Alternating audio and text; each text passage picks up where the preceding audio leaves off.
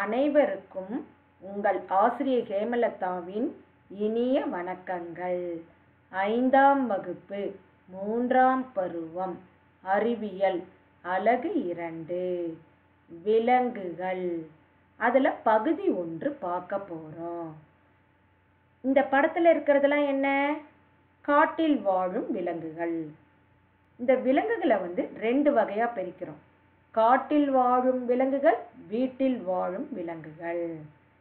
இந்த பாடத்தில் நம்ம என்னென்னலாம் தெரிஞ்சுக்க போகிறோம்னா விலங்குகளின் இனப்பெருக்கம் பற்றி அறிந்து கொள்ளல்.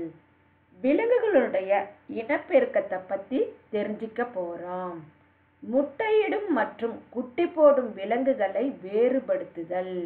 முட்டையிடும் மற்றும் குட்டி போடக்கூடிய விலங்குகளை வந்து வேறுபடுத்துதலை தெரிஞ்சிக்க போகிறோம் அழியும் நிலையில் உள்ள விலங்குகள் மற்றும் அவற்றை பாதுகாக்க வேண்டிய அவசியம் குறித்து அறிந்து கொள்ளல். அழியும் நிலையில் இருக்கக்கூடிய விலங்குகளும் அவற்றை பாதுகாக்க வேண்டியதனுடைய அவசியத்தை பற்றியும் தெரிந்து கொள்ள போகிறோம் வனவிலங்கு சரணாலயங்கள் மற்றும் தேசிய பூங்காக்கள் குறித்து அறிந்து கொள்ளல். விலங்குகளை பாதுகாக்கக்கூடிய இடங்கள் என்ன? வனவிலங்கு சரணாலயங்கள் தேசிய பூங்காக்கள் பற்றி தெரிஞ்சிக்க போகிறோம் விலங்குகளை துன்புறுத்துவதை தடுக்க வேண்டியதன் தேவையை புரிந்து கொள்ளல். விலங்குகளை துன்புறுத்துறாங்க தானே? அதை தடுக்க வேண்டியதனுடைய தேவையை பற்றி நம்ம தெரிஞ்சிக்க போகிறோம் அறிமுகம். நமது புவியானது தாவரங்கள் மற்றும் விலங்குகள் உள்ளிட்ட எண்ணிலடங்கா உயிரிகளை தன்னகத்தே கொண்டுள்ளது. நம்மளோட பூமியில் வந்து தாவரங்கள் இருக்குது விலங்குகள். இது மாதிரி எண்ணில்லாத எண்ணில் அடங்காத உயிரிகளை வந்து தன்னுள்ளே இருக்கக்கூடியது தான் பூமி. பூமியில் வந்து இதெல்லாமே இருக்குது அவற்றுள் விலங்குகளே உயர்நிலை உயிரினங்கள் ஆகும் உயர்நிலையில் இருக்கக்கூடியது வந்து இந்த பூமியில் இருக்கிறதுல விலங்குகள் தான் உயர்ந்த நிலையில் இருக்கக்கூடியதாகும். விலங்குகள் இயற்கையால் மனிதனுக்கு கொடுக்கப்பட்ட கொடை ஆகும். இவை நம் அன்றாட வாழ்வுடன் நெருங்கிய தொடர்புடையவையாய் இருந்து நமக்கு அநேக நன்மைகளை வழங்குகின்றன. நம்முடைய அன்றாட வாழ்க்கையுடன் நெருங்கிய தொடர்புடையதாக இருக்குது. அது மட்டும் இல்லை நமக்கு நிறைய நன்மைகளையும் தருது. ஆனால் இந்த நவீன காலத்தில் மனிதன் இதுவரை இல்லாத அளவிற்கு இயற்கையை அழித்து சுரண்டுகிறான். ஆனாலும் இந்த நவீன காலம்னு சொல்கிறோமே இப்போ இருக்கிற காலத்தில் மனிதன் என்ன பண்ணுறான் இயற்கைனா என்ன? இயற்கையாக கிடைக்கக்கூடிய இந்த காடுகள் அப்புறம் இந்த கனிமப் பொருட்கள் இதெல்லாம் அழித்து சுரண்டறான் இதனால் விலங்குகள் அதிக அளவில் பாதிக்கப்பட்டு அநேக தாவரங்களும் விலங்குகளும் பூமியிலிருந்து மறைந்து கொண்டு இருக்கின்றன. மனிதர்கள் என்ன பண்ணுறான் விலங்குகளையும் அழிக்கிறான் தாவரங்களையும் அழிக்கிறான். அதனால் நிறைய விலங்குகள் வந்து பாதிக்கப்பட்டு இப்போ நிறைய தாவரங்களும் விலங்குகளும் வந்து நம்முடைய பூமியிலிருந்து அழிந்து கொண்டே இருக்கின்றன. மறைஞ்சுக்கிட்டே இருக்குன்னு கூட சொல்லலாம். நாம் இப்பாடத்தில் விலங்குகளின் இனப்பெருக்கம் விலங்குகள் அழிக்கப்படுதல் மற்றும் அவற்றை பாதுகாக்க வேண்டிய வழிகளை குறித்து அறிய இருக்கிறோம். இதில் முக்கியமானது மூணு தெரிஞ்சுக்க போகிறோம் முதல்ல விலங்குகளுடைய இனப்பெருக்கம். அப்புறம் விலங்குகள் அழிக்கப்படுதல். அதை அழிக்கக்கூடாது. அவற்றை பாதுகாக்க வேண்டிய வழிகள். அதை பற்றி இந்த பாடத்தில் நம்ம தெரிஞ்சிக்க போகிறோம் விலங்குகளில் இனப்பெருக்கம். இனப்பெருக்கம் என்பது ஒரு உயிரியல் செயல்பாடு. ஒரு உயிரியல் செயல்பாடுன்னா உயிர்களுக்குடியே நடக்கக்கூடிய செயல்பாடு தான் உயிரியல் செயல்பாடு. அது என்ன சொல்லுவோம்னா இனப்பெருக்கம். அப்போ இனப்பெருக்கம்னா ஒரு உயிரியல் செயல்பாடு. இதன் மூலம் ஒரு உயிரினம் வேறொரு புதிய உயிரினத்தை தோற்றுவிக்கிறது. ஒரு உயிரினம் இருக்குன்னா அது புதிதாக வேறு ஒரு உயிரினத்தை தோற்றுவிக்கிறது. இந்த செயல்முறை தாவரங்கள் மற்றும் விலங்குகள் உள்ளிட்ட அனைத்து உயிரினங்களிலும் காணப்படுகிறது. இந்த மாதிரி புதிய உயிரினத்தை தோற்றுவிக்குதுன்னு சொன்னதானே? இது வந்து தாவரங்கள்லையும் நடக்கும் விலங்குகள்லையும் நடக்கும். மனிதர்க்குள்ளேயும் நடக்கும். எந்த ஒரு உயிரினமும் சந்ததி சந்ததியாக தொடர்ந்து வாழ்வதற்கு இனப்பெருக்கம் அவசியமாகும். இப்போ மனிதர்கள் எடுத்தா மனிதர்கள் பார்த்தீங்கன்னா மறுபடியும் இன்னொரு இப்போ குழந்தை அதுக்கு அடுத்து அது குழந்தைன்னு சொல்லி அதனுடைய சந்ததிகள் அப்படியே வளர்ந்து கொண்டே இருக்குதானே? அது தாவரங்கள்லையும் வரும் விலங்குகள்லையும் வரும். எந்த ஒரு உயிரினமும் சந்ததி சந்ததியாக தொடர்ந்து வாழ்வதற்கு முக்கியமானது வந்து இனப்பெருக்கம். விலங்குகளில் இரண்டு வகையான இனப்பெருக்கம் காணப்படுகிறது. விலங்குகள் எடுத்தா இரண்டு வகையான இனப்பெருக்கம் இருக்கு. பால் இனப்பெருக்கம் மற்றும் பாலிலா இனப்பெருக்கம். இப்போ முதல்ல நம்ம பார்க்க போகிறது பால் இனப்பெருக்கம். பால் இனப்பெருக்கம் என்பது மனிதர்கள் விலங்குகள் மற்றும் பெரும்பாலான தாவரங்களில் இயற்கையாகவே நடைபெறும் இனப்பெருக்க முறை ஆகும். இப்போ பால் இனப்பெருக்கம் அப்படின்னா நீங்கள் என்ன தெரிஞ்சுக்கணும்னா மனிதர்கள் அப்புறம் விலங்குகள் பெரும்பாலான தாவரங்களில் இயற்கையாக நடைபெறக்கூடிய இனப்பெருக்க முறை தான் வந்து பால் இனப்பெருக்கம். பாலிலா இனப்பெருக்கத்துடன் ஒப்பிடும்போது இது சிக்கலானதாகவும் நீண்டதாகவும் உள்ளது. இந்த பால் இனப்பெருக்கம் வந்து இந்த பாலிலா இனப்பெருக்கத்தோட ஒப்பிட்டு பார்க்கும்போது சிக்கலானதாகவும் நீண்டதாகவும் நீண்டதாகவும் இருக்கு.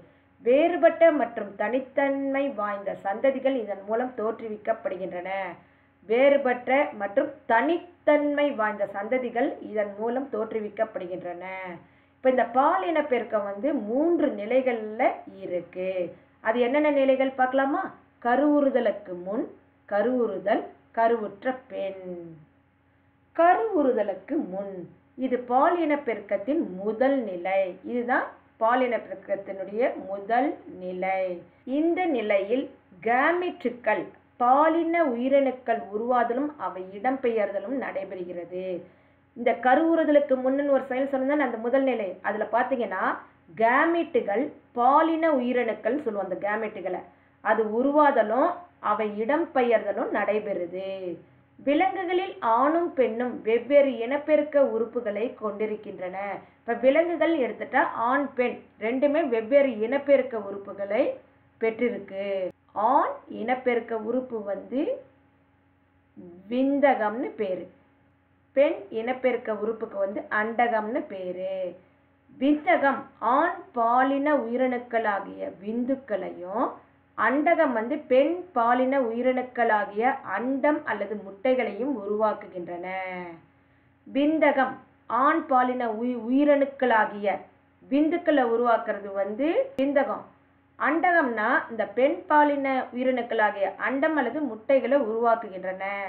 விந்தகத்தில் வந்து விந்துக்கள் உருவாகுது. அண்டகத்தில் வந்து அண்டம் அல்லது முட்டைகளை உருவாக்குது. இந்த நிலையில் ஆண் உயிரணுக்கள் பெண் உயிரணுக்களை சென்றடைகின்றன. இந்த ஆண் உயிரணுக்கள் வந்து பெண் உயிரணுக்களை வந்து சென்றடைதான் வந்து கருவுறுதலுக்கு முன் சொல்லுவோம். அடுத்து ஆ பார்க்க போகிறது கருவுறுதல். ஆண் உயிரணுக்கள் பெண் உயிரணுக்களை சென்றடையும் போது அவை ஒன்றோடு ஒன்று இணைகின்றன. விந்துன்றது வந்து ஆண் உயிரணுக்கள் அண்டம்ன்றது வந்து பெண் உயிரணுக்கள் இந்த ஆண் உயிரணுக்கள் வந்து பெண் உயிரணுக்களை வந்து போய் சேருகின்றன. இந்த உயிரணுக்களின் இணைவு தான் வந்து கருவுறுதல் சொல்லுவோம்.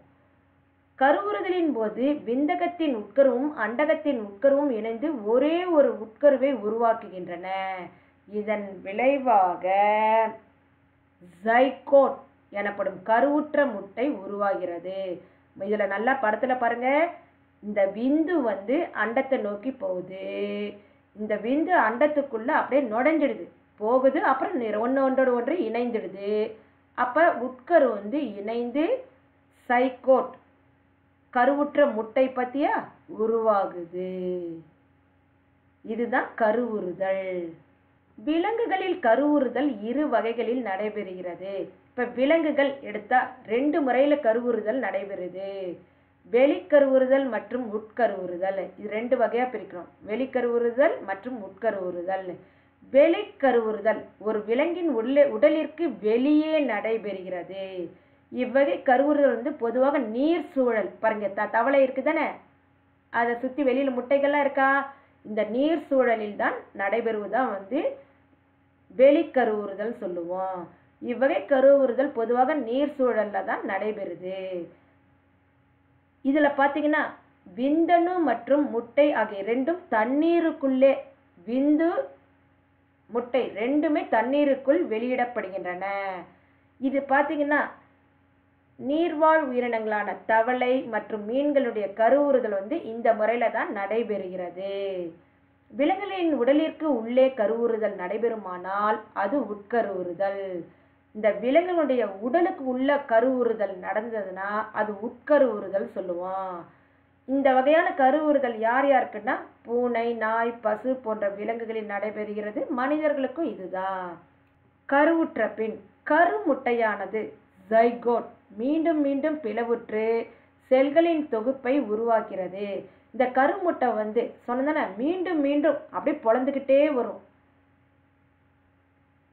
அப்படியே பிளந்து பிளந்து செல்களுடைய தொகுப்பை வந்து உருவாக்கிக்கிட்டே இருக்கு. இந்த செல்கள் வேறுபட்ட திசுக்களாகவும் உறுப்புல உறுப்புகளாகவும் வளர்ச்சியடைந்து ஒரு முழு உடலை உருவாக்குகின்றன. இந்த அமைப்பு தான் கரு என்று அழைக்கப்படுகிறது. நான் படத்தை பார்த்து விளக்குறேன். அப்போ உங்களுக்கு புரியும் பாருங்க. கருவுற்ற முட்டை. இது என்னாவது இந்த முட்டை மறுபடியும் ரெண்டா பிளக்குது. இது ரெ- ரெண்டு செல் நிலை. இது நான்கு செல் நிலை. இது எட்டு செல் நிலை. இதுதான் கருக்கோளம். இதில் தான் அந்த பல்வேறு திசுக்கள் இந்த உடலுடைய உறுப்புகள்லாம் உருவாகுது. பாருங்கள் வளரும் இளம் கரு. கரு வந்து கருப்பையில் தொடர்ந்து வளர ஆரம்பிக்குது. என்னெல்லாம் உருவாகும்? அதில் தலை முகம் கைகள் கால்கள் போன்ற உடல் உறுப்புகளாக வளர ஆரம்பிக்கிறது. இதெல்லாம் வந்து இந்த கரு வந்து கருப்பையில் தான் உருவாகுது. கருவானது உடலிற்கு உள்ளே வளர்கிறதா அல்லது வெளியே வளர்கிறதா என்பதை பொறுத்து விலங்குகள் முட்டையிட்டு இனப்பெருக்கம் செய்பவை மற்றும் குட்டி போட்டு இனப்பெருக்கம் செய்பவை என்று வகைப்படுத்தப்படுகின்றன. இந்த கருவானது உடலுக்குள்ள வளருதா அல்லது வெளியே வளருதா என்பதை பொறுத்து இந்த விலங்குகளுக்கு வந்து ரெண்டு வகையாக சொல்கிறோம் இனப்பெருக்கத்தை. முட்டையிட்டு இனப்பெருக்கம் செய்யக்கூடியது குட்டி போட்டு இனப்பெருக்கம் செய்யறதுன்ட்டு ரெண்டு வகையாக வகைப்படுத்துகிறோம் முதல்ல பார்க்க போகிறது முட்டையிட்டு இனப்பெருக்கம் செய்யும் விலங்குகள். நீங்கள் பார்த்தீங்கன்னா சில விலங்குகள்லாம் முட்டை போடும் சொல்றதானே இந்த கோழி இதெல்லாம். இதெல்லாம் வந்து முட்டையிட்டு குஞ்சு பறவைகள்லாம் பெரும்பாலும் முட்டையிட்டு குஞ்சு பொறிக்கக்கூடியவை. கருவானது விலங்கின் உடலுக்கு வெளியில் வளருமானால் அத்தகைய விலங்குகள் முட்டையிட்டு குஞ்சு பொரிப்பவை இந்த படத்தில் பாருங்க. எல்லா பறவைகளும் இங்கே முட்டைகள் இருக்குதானே? முட்டையிலேருந்து தான் குஞ்சு பொறிக்கக்கூடியது. இதுக்கு என்ன பேர்? முட்டையிட்டு குஞ்சு பொரிப்பவைன்னு சொல்லுவோம். இதுக்கு என்ன பேர்? ஓவி போரஸ்ன்னு பேர். இவை முட்டையிடுவதுடன் தங்களுடைய குஞ்சுகளை உருவாக்குகின்றன. இது முட்டையிட்டு அது மூலமாக குஞ்சுகளை உருவாக்குது. பறவைகளை பொறுத்தவரை அவற்றின் குஞ்சுகள் முட்டையிலிருந்து உருவாகின்றன. நான் சொன்ன மாதிரி தான் பறவைகளை அது முட்டை போட்டு தான் குஞ்சுகள் வந்து உருவாகுது. முட்டையிலிருந்து தான் உருவாகின்றன. முட்டையின் ஓடானது உள்ளே இருக்கும் குஞ்சுகளை வெளிப்புற சூழலிலிருந்து பாதுகாக்கின்றன. ஏன் முட்டைக்கு இந்த மேலே ஓடு இருக்குது அப்படின்னா இந்த ஓடு உள்ளே இருக்கக்கூடிய குஞ்சுகளை இந்த வெளிப்புற சூழ்நிலையிலிருந்து பாதுகாக்குது. மேலும் உள்ளே இருக்கும் கருவானது தனக்கு தேவையான ஊட்டச்சத்தை முட்டையின் மஞ்சள் கருவிலிருந்து பெற்றுக்கொள்கிறது. இப்போ இந்த உள்ளே இருக்கிற முட்டைக்குள்ளே இருக்கிற குஞ்சு இருக்குதானே? அந்த கரு அதுக்கு த தேவையான ஊட்டச்சத்து எங்கேருந்து கிடைக்குதுன்னா அந்த முட்டைக்குள்ளே மஞ்சள் கரு இருக்கும். அதுலேருந்து பெற்றுக்கொள்கிறது. இவ்வகை விலங்குகளில் புதிய உயிரினம் வெவ்வேறு வளர்ச்சி நிலைகளை கொண்டிருக்கும். ஒரு அதுலேருந்து வரக்கூடிய புதிய உயிரினம் வந்து வெவ்வேறு வளர்ச்சி நிலைகளை கொண்டிருக்கும். இப்போ எடுத்துக்காட்டுன்னு எடுத்துக்கோங்க பாருங்க. இப்போ பட்டுப்பூச்சின்னு எடுத்துக்கிட்டோன்னா முதல்ல முட்டை அடுத்தது லார்வா பியூபா வளர்ந்த பூச்சி என வேறுபட்ட வளர்ச்சி நிலைகளை காணப்படும். பார்த்தீங்கன்னா நான்கு நிலைகள் பட்டுப்பூச்சிக்கு. முட்டை லார்வா பியூபா வளர்ந்த பூச்சி. இதன் ஒவ்வொரு வளர்ச்சி நிலையிலும் வந்து வேறுபட்டு இருக்கும். வண்ணத்து பூச்சி முழு வளர்ச்சி அடையும் நிலைக்கு தான் வளர் உருமாற்றம்னு பேர். வண்ணத்தை போச்சு வந்து வளர்ச்சி அடைந்த நிலைக்கு தான் வளர் உருமாற்றம்னு சொல்லுவோம். இந்த வாழ்க்கை சுழற்சியானது ஒரு மாதம் முதல் ஒரு வருடம் வரை நடைபெறலாம். இந்த நான்கு வளர்ச்சின்னு சொன்னேன் தானே? இந்த நான்கு நிலைகளும் வந்து ஒரு மாதம் முதல் ஒரு வருஷம் வரை நடைபெறும். உங்களுக்கு தெரியுமா? இரண்டு விதமான வாழ்க்கை முறைகளை கொண்ட விலங்குகள் நீர்நில வாழ்விகள் எனப்படுகின்றன. இந்த இரண்டு விதமான வாழ்க்கை முறைகளை கொண்டுள்ளது என்ன? நீர்நில வாழ்வன. அது நீர்லேயும் வாழும் நிலத்திலையும் வாழும். அது என்னன்னு உங்களுக்கு நான் சொன்ன உடனே உங்களுக்கு தெரிஞ்சிருக்கும். இருந்தாலும் இன்னொரு தடவை சொல்கிறேன் பாருங்கள் வளர வளர நிலத்தில் வாழ ஆரம்பிக்கின்றன. இது வந்து என்ன பண்ணோம் முதல்ல ஆரம்ப நிலையில் நீரில் வாழும். அது வந்து வளர வளர நிலத்தில் வாழ ஆரம்பிக்குது. அதுக்கு என்ன சொல்லுவோம்? தவளை. இதெல்லாம் நீர்நில வாழ்விகள் சொல்லணும். இது ஆயிரக்கணக்கான சில வேளைகளில் லட்சக்கணக்கான மென்மையான சிறு முட்டைகளை நீரில் போடுது. அப்புறம் அது வளர வளர வளர என்ன ஆகுது? நிலத்துக்கு வருது. இது நீங்கள் தெரிஞ்சுக்கோங்க. இப்போ வண்ணத்து பூச்சின்னா பட்டாம்பூச்சின்னு சொன்னேன்னா இல்லையா? பட்டுப்பூச்சி. அதனுடைய நிலைகளை பற்றி நம்ம பார்க்க போகிறோம் முதல்ல முட்டை. இந்த நிலையில் வண்ணத்து பூச்சியானது இலைகளின் மேல் முட்டையிடும் இந்த முட்டைகள் மிகவும் சிறிதாகவும் உருண்டை வடிவத்திலும் இருக்கும். முட்டை இடப்பட்டு ஐந்து நாளைக்கு பிறகு புழு போன்ற உயிரி அதிலிருந்து பொறித்து வெளியாகும். இந்த இலை எடுத்துக்கோங்க. இதில் பாருங்கள் வண்ணத்து பூச்சி வந்து இலைகள் மேலே முட்டை போடும். இந்த முட்டைகள் பார்த்திங்கன்னா சின்னதாகவும் உருண்டை வடிவத்திலையும் இருக்கும். முட்டை இட்ட பின்னாடி அஞ்சு நாளைக்கு பின்னாடி சிறிய புழுவா அதுலேருந்து பொறித்து வெளிவரும். அதுதான் கம்பளி பூச்சின்னு சொல்லுவோம். இந்த இந்த படத்தில் இருக்க பார்த்தா இது முதல் நிலை இது இரண்டாவது நிலை. இரண்டாம் நிலை கம்பளி பூச்சி ஆகும். இது லார்வா என்று அழைக்கப்படும். இதுக்கு என்ன பேரு? லார்வா. இந்த கம்பளி பூச்சியானது இது பார்க்கறதுக்கு புழுவை போல இருக்கும். இந்த கம்பளி பூச்சியானது வெளியில் வந்தவுடன் இலைகள் மற்றும் பூக்களை உண்ணத் தொடங்கும். நீங்கள் பார்த்தீங்கன்னா பெரும்பாலான ம செடிகள்லாம் பார்த்தீங்கன்னா இலைகள்லாம் நல்லா அப்படியே அரிச்சிருக்கும். பூவெல்லாம் வந்து நோய் வந்த மாதிரி அரிச்சிருக்கும். இதுக்கு காரணம் வந்து கம்பளி பூச்சி வந்து இதில் உள்ள இலைகள் பூக்கள் எல்லாம் சாப்பிட தொடங்கும். அதிகமாக உண்பதால் வெகு வேகமாக இது வளர ஆரம்பிக்கிறது. இந்த நிலையில் பார்த்தீங்கன்னா இந்த கம்பளி பூச்சி வந்து அதிகமாக சாப்பிட்றதுனால இது வேகமாக வளர ஆரம்பிக்குது. வேகமாக வளர்வதன் காரணமாக இதன் தோல் உரிந்து புதிய தோல் வளர ஆரம்பிக்கிறது. இது வளர்றதுனால இதனுடைய பழைய தோல் உரிந்து புதிய தோல் வந்து வளர ஆரம்பிக்குது. இவ்வாறு வந்து பழைய தோலை களைவதற்கு தோல் உரித்தல் என்று பெயர். இந்த பழைய தோல் வந்து களைவதற்கு வந்து தோல் உரித்தல் பெரு. இதெல்லாம் இரண்டாம் நிலையில் நடைபெறும். நிலை மூன்று கூட்டுப்புழு பருவம் பியூபான்னு சொல்லுவோம். இது மூன்றாம் நிலை. பியூபா என்பது மூன்றாம் நிலை. இதுதான் மூன்றாம் நிலை. இது அநேகமாக பழுப்பு அல்லது பச்சை வண்ணத்தில் காணப்படும். நீங்கள் பார்த்தீங்கன்னா இந்த செடிகள் எல்லாம் இந்த மாதிரி இருக்கும். பச்சை கலர்லேயோ அல்லது பழுப்பு நிறத்துலேயோ இருக்கும். இது வண்ணத்து பூச்சியின் ஓய்வெடுக்கும் நிலை. இது கூடுன்னு கூட சொல்லுவாங்க. வண்ணத்து பூச்சியின் ஓய்வெடுக்கும் நிலை மற்றும் வளர்மாற்றம் பெறும் நிலையாகும். இந்த வண்ணத்து பூச்சி வந்து ஓய்வெடுக்கக்கூடிய நிலை அல்லது வளர்மாற்றம் பெறும் நிலை தான் மூன்றாம் நிலை. முழு வளர்ச்சி பெற்ற வண்ணத்து பூச்சி இது நான்காம் நிலை. இதுதான் இந்த வண்ணத்து பூச்சி தான் நான்காம் நிலை. இது முழு வளர்ச்சி பெற்ற நிலை. இது நான்காம் நிலையில் பியூபாவின் கூடு திறந்து முழு வளர்ச்சியடைந்த வண்ணத்து பூச்சி வெளிவரும். அந்த கூடு இருக்குதுன்னா அதுலேருந்து அந்த கூடு திறந்து முழு வளர்ச்சி அடைஞ்சு வண்ணத்து பூச்சி வெளிவரக்கூடிய நிலை தான் நான்காம் நிலை. சில வேளைகளில் இமகோ என இது அழைக்கப்படும். இமகோன்னு சொல்லுவோம். இவை அழகிய வண்ணங்கள் நிறைந்தவை. வண்ணத்து பூச்சின்னா நிறைய வண்ணங்கள் இருக்குது தானே அதுதான் அழகிய வண்ணங்களில் இருக்கும். முதன் முதலில் வண்ணத்து பூச்சி கூட்டை விட்டு வெளியில் வரும்போது மிகுந்த சோர்வோடு காணப்படும். எனவே அது ஓய்வு எடுத்துக்கொள்கிறது முதல்ல அந்த கூட்டை விட்டு வெளியில் வந்தோடனே அது சோர்வோட இருக்கும். ஏன்னா அது கூட்டுக்குள்ளேயே சாப்பிட்டு சாப்பிட்டு அடைஞ்சு கிடந்ததுனால அது சோர்வாக இருக்கும். அது கொஞ்சம் ஓய்வு எடுத்துக்கொள்ளும். அதுக்கப்புறம் பாருங்கள் அது முட்டையிட்டு மீண்டும் தனது வாழ்க்கை சுழற்சியை தொடங்குகிறது. அதுக்கப்புறம் மறுபடியும் முட்டை போட்டு முன்னாடி காமிச்ச பார்த்தீங்கன்னா ஒன்றாம் நிலை இரண்டாம் நிலை மூன்றாம் நிலை மறுபடியும் அந்த சுழற் வாழ்க்கை சுழற்சியை தொடங்குது. இது ஒன்று முடிஞ்சது. அடுத்தது ரெண்டாவது வகை என்ன? குட்டி போட்டு இனப்பெருக்கம் செய்யும் விலங்குகள். கருவானது பாலூட்டிகள் கூட சொல்லுவோம். கருவானது விலங்கின் உடலிற்குள்ளே வளருமானால் அத்தகைய விலங்குகள் குட்டி போட்டு இனப்பெருக்கம் செய்யும் விலங்குகள் என்று அழைக்கப்படுகின்றன. இந்த கருவானது விலங்கினுடைய இந்த உடம்புக்குள்ளே வளரக்கூடியதுக்கு வந்து குட்டி போட்டு இனப்பெருக்கம் செய்யும் விலங்குகள் சொல்லுவோம். இதை வந்து பாலூட்டி இனம்னு கூட சொல்லுவோம். இது வந்து குட்டிகளை ஈணுகின்றன. உடலினுள்ளே வளர்ச்சி அடையும் கருவானது தனக்கு தேவையான ஊட்டச்சத்தை தனது தாயிடமிருந்து பெற்றுக்கொள்கிறது. இந்த கருப்பையில் இந்த விலங்குகள் இந்த வளருது தானே இந்த குட்டி?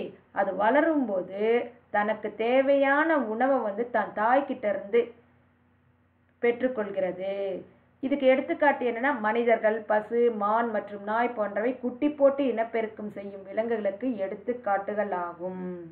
இப்போ முட்டையிடும் விலங்குகள் குட்டியிடும் விலங்குகள். இதுக்குரிய வேறுபாடு என்னன்னு? இப்போ நம்ம இது ரெண்டையும் படிச்சதானே? அதுக்குரிய வேறுபாடு இங்கே கொடுத்துருக்காங்க. அதை பார்க்கலாம். ஒன்று கருவின் வளர்ச்சி விலங்கின் உடலுக்கு வெளியே நடைபெ நடைபெறுகிறது. குட்டியினும் விலங்குகளில் கருவின் வளர்ச்சி விலங்கின் உடலுக்கு உள்ளே நடைபெறுகிறது. இரண்டு தங்கள் இளம் உயிரிகளை முட்டையிட்டு உருவாக்குகின்றன. இவை நேரடியாக இளம் உயிரிகளை ஈணுகின்றன. இங்கே பார்த்தீங்களா மான் குட்டி நேரடியாக இளம் உயிரிகளை உருவாக்குகின்றன. மூன்று கருவானது முட்டையின் மஞ்சள் கருவிலிருந்து ஊட்டச்சத்துக்களை எடுத்துக்கொள்கிறது அந்த கருவில் இருக்குதானே அது வந்து முட்டையினுடைய மஞ்சள் கருவிலேருந்து தனக்கு தேவையான ஊட்டச்சத்தை எடுத்துக்குது. ஆனால் குட்டியிலும் விலங்குகளில் பார்த்தீங்கன்னா கருவானது தன் வளர்ச்சிக்கான ஊட்டச்சத்தை வந்து தனது தாயின் கிட்ட இருந்து பெற்றுக்கொள்கிறது இப்போ எடுத்துக்காட்டுன்னு பார்க்கலாம். இது பார்த்தீங்கன்னா பூச்சிகள் மீன் நீர்நில வாழ்விகள் மற்றும் பறவைகள். இதுக்கு எடுத்துக்காட்டு பூனை நாய் மனிதர்கள் மற்றும் சிங்கம். முட்டையிடும் விலங்குகள் அப்படின்னா இதை எடுத்து இந்த நாலாவது பாயிண்ட்ல இருக்குதுன்னு அதை எடுத்து இங்கே எழுதுங்க. குட்டி போடும் விலங்குகள்னா இதை எடுத்து இங்கே எழுதுங்க. இதுதான் குட்டி பாருங்கள் மூன்று முட்டையிடும் விலங்குகள் மற்றும் குட்டி போடும் விலங்குகளின் பெயர்களை எழுதுகள்னா நீங்கள் இதை எழுதலாம்.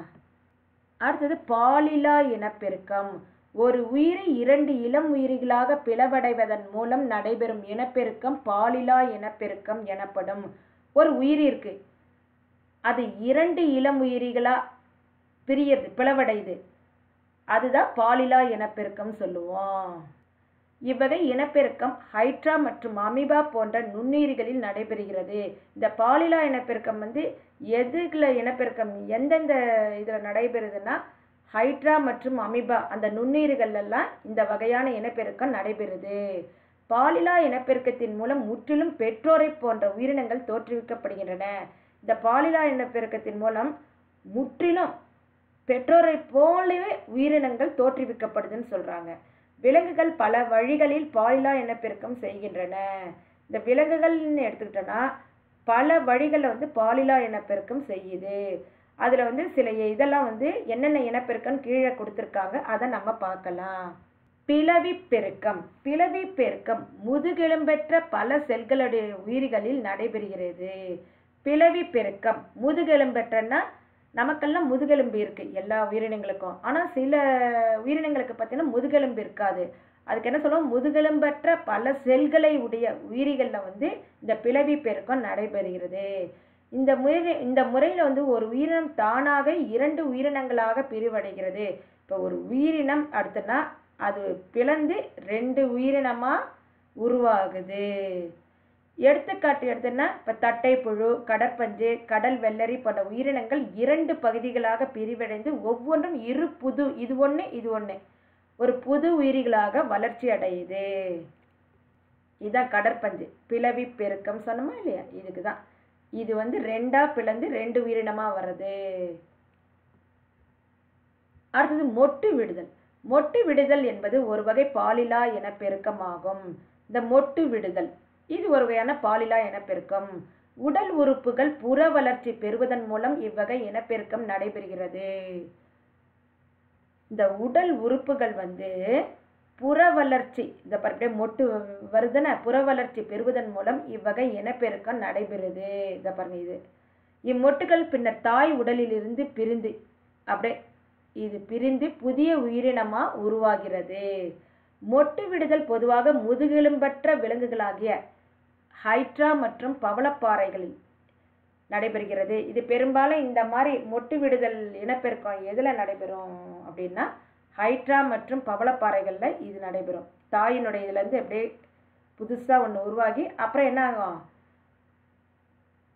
இதுலேருந்து தாயோட உடல்லேருந்து பிரிஞ்சு புதிய உயிரினமாக உருவாகுது. அப்புறம் துண்டாதல். உயிரின உயிரிகளின் உடல் சிறு சிறு துண்டுகளாக பிளவுபட்டு பின்னர் அவை புதிய உயிரியாக வளர்ச்சியடைவது துண்டாதல் எனப்படும். இதுதான் துண்டாதல். உயிரிகளின் உடல் வந்து சிறு சிறு சிறு துண்டா பிளவுபட்டு பின்னர் அது இதெல்லாம் பாரு அப்படியே புது புது உயிரியா வளர்ச்சி அடைவதுதான் துண்டாதல் எனப்படும். இவ்வகையான இனப்பெருக்கம் வந்து கடற்பஞ்சு மற்றும் நட்சத்திர மீன்கள். நட்சத்திர மீன் வந்து இப்படி ஸ்டார் ஸ்டாராக இப்படி இருக்கும் பார்த்துருக்கீங்களா? அது கூட சொல்லலாம். அதனுடைய உடல் என்ன ஆகும் சிறு சிறு துண்டுகளாக பிளவுபட்டு புதிய உயிரியாக வளர்ச்சி அடைவது. இது விபத்தின் மூலமோ அல்லது எதிரிகளின் தாக்குதல் மூலமோ அல்லது இயற்கையாகவோ நடைபெறலாம். இது பார்த்திங்கன்னா விபத்து காரணமாக நடைபெறலாம். இல்லைன்னா எதிரிகள் தாக்குதல்னாலமோ தாக்குதல்னாலவோ இயற்கையாகவோ சில சமயத்தில் நடைபெறலாம்.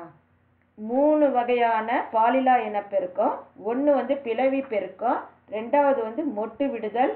மூணாவது வந்து துண்டாதல் சொல்லணும். துண்டாதல். இது மூன்று வகையில் சொல்லிட்டோம். சிதறல்கள் ஸ்போர்கள் ஒரு சில புரோட்டோசோவாக்கள் பாக்டீரியாக்கள் தாவரங்கள் மற்றும் பூஞ்சைகள் ஸ்போர்கள் மூலம் இனப்பெருக்கம் செய்கின்றன. ஒரு சில புரோட்டோசோவாக்கள் பாக்டீரியாக்கள் தாவரங்கள் பூஞ்சைகள் அந்த ஸ்போர்கள் மூலம் இனப்பெருக்கம் செய்துன்னு சொல்லுவாங்க. ஸ்போர்கள் என்பவை ஒரு உயிரினத்தின் வாழ்க்கை சுழற்சியின் ஒரு பகுதியாக இயற்கையாக வளரக்கூடியவை. ஸ்போர்கள்னா ஒரு உயிரினத்தினுடைய வாழ்க்கை சுழற்சி இருக்குதுன்னு அதில் ஒரு பகுதியாக இயற்கையாக வளரக்கூடியவை. இவை உடலத்திலிருந்து பிரிந்து சிதறல் அடைந்து காற்று அல்லது நீர் மூலமாக பரவுகின்றன. இப்போ நம்ம அந்த தா முதல் பாடத்தில் படித்தது தானே நீர் மூலம் பரவுதல் காற்று மூலம் பரவுதல். அது மாதிரி தான் விலங்குகள்லையும். ஒரு உடல்லேருந்து ஒரு உயிரின் உடல் உடல்லேருந்து பிரிந்து சிதறல் அடைந்து காற்று அல்லது நீர் மூலமாக பரவி அதுக்கு அப்புறம் பாருங்க பின்னர் ஏற்ற சூழலில் முழுமையான உயிரினமாக வளர்ச்சி அடைகின்றது. அது பிரிந்த பின்னாடி ஏற்ற சூழலில் முழுமையான உயிரினமா வளர்ச்சி அடைகின்றன. இதுக்கு என்ன சொல்லுவோம்? சிதறல்கள் ஸ்போர்கள் மூலம் சொல்லுவோம். இதோட இந்த பகுதி ஒன்று வகுப்பு முடிஞ்சது பகுதி ரெண்டில் பார்க்கலாம். நன்றி.